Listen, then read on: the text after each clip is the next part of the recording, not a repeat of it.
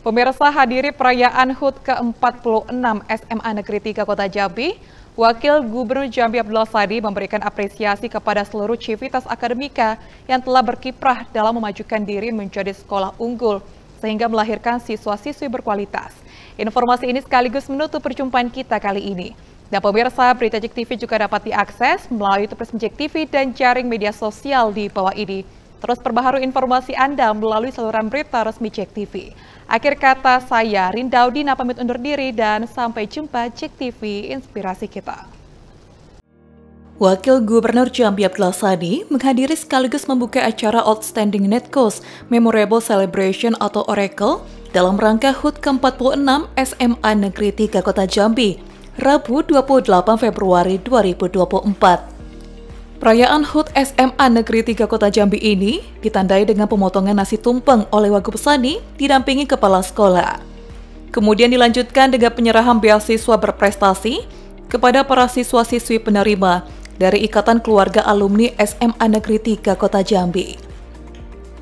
Dalam kesempatan tersebut, Wagub Sani memberikan apresiasi luar biasa kepada para pahlawan tanpa tanda jasa, yakni guru, yang tidak hanya mendidik dan membimbing anak-anak untuk menjadi insan terbaik dalam bidang akademis, cerdas dan berdaya saing, namun juga merangkul anak-anak hingga tercipta generasi penerus bangsa yang berakhlak mulia dan berkarakter Pancasila.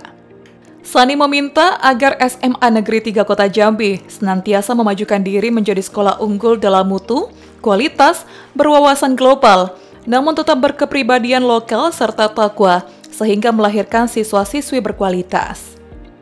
Selain itu, Sani juga mendorong seluruh siswa-siswi SMA Negeri 3 Kota Jambi semakin maju dan mengoptimalkan kompetensi dalam segala bidang ilmu pengetahuan, baik imtak, iptek, olahraga, dan seni, sesuai bakat maupun minat yang dimiliki peserta didik.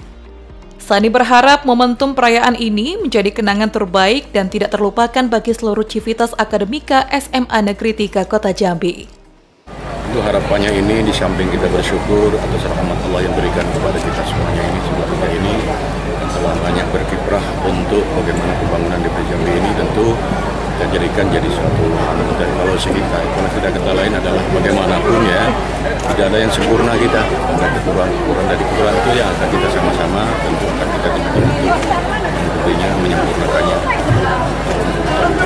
saya pada akhirnya mudah-mudahan SMA Negeri 3 Jambi ini semakin eksis, semakin terpercaya, dipercaya, semakin berkomunikasi untuk berjambi dan semakin jaya. Saya kira demikian, selamat food yang ke-20.